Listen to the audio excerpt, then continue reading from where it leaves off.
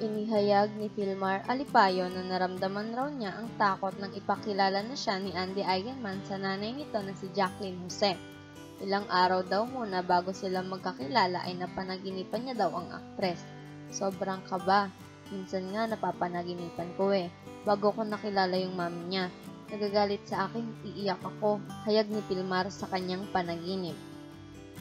Nung dumating na ang araw na makikilala na nito ang ina ni Andy ay sobra pa rin daw ang kanyang kaba. Nung nagkita kami, una, takot muna ako.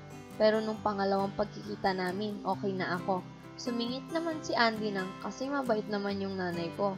Mukha lang siyang masungit pero super bait ng mom ko.